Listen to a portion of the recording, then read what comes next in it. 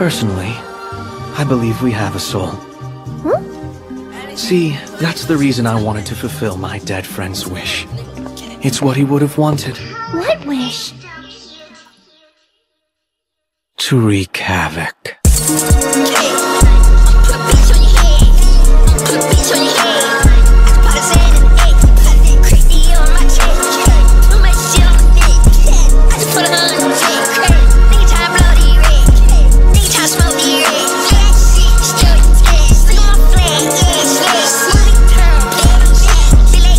Forever set, the precious moon is lost.